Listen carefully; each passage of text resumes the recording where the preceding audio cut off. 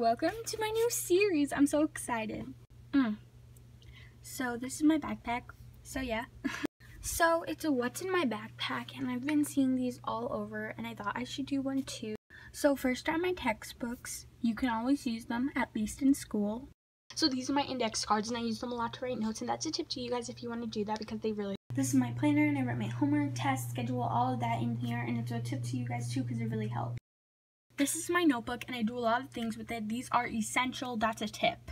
This is my book that I read during free time at school. This is a definite tip that you need to get.